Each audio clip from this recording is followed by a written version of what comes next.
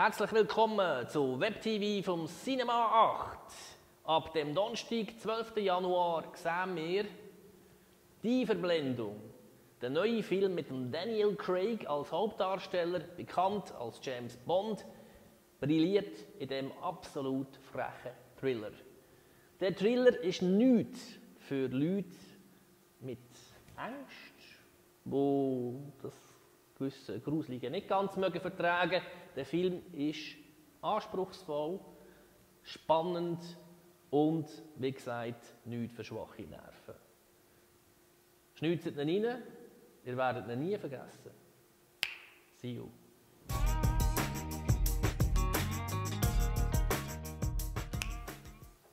Ab dem 2. Februar 2012 startet Cinema 8 der Film Die Muppets.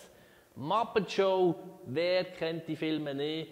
Die schönen, tollen Filme und auch natürlich die Fernsehserie, wo alle zusammen immer total begeistert hat.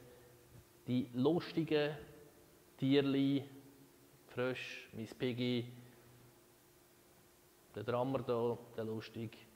Und auch überhaupt, Muppets ist doch einfach nur cool. 2. Februar. Die Muppet Show.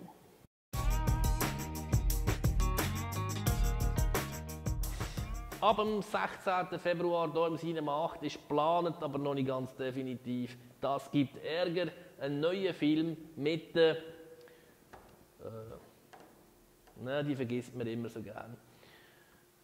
Ist eigentlich sehr bekannt und sehr berühmt. Helfen wir auf den Sprung. Das war eine Wettbewerbsfrage. Einsendeschluss ist der 8. Februar 2012.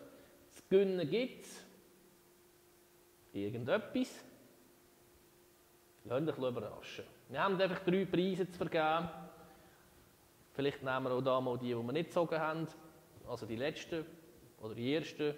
Spielt gar nicht so eine Rolle, macht einfach mit. Die Antwort, wie heisst sie? Die Schauspielerin. Gehört unter anderem zu den bestzahlten Schauspielerinnen.